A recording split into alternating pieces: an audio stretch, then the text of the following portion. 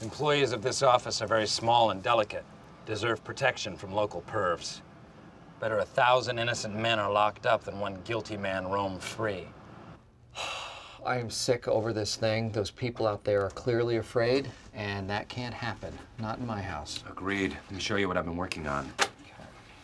There are several penises there. I'd love Phyllis to run her eyes over, you know, see if we can catch this pervert. This is the last thing that Phyllis needs to see right now, Dwight. Look at that one. Dwight, are those your pants? That's a Polaroid. Attention, everybody. Dwight has something he would like to say.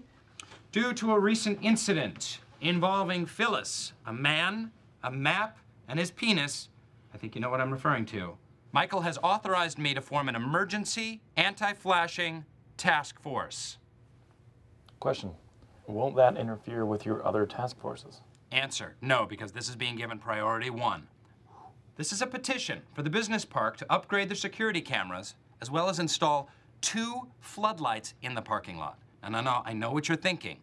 Won't that just shed more light on the penises? But that is a risk we have to take.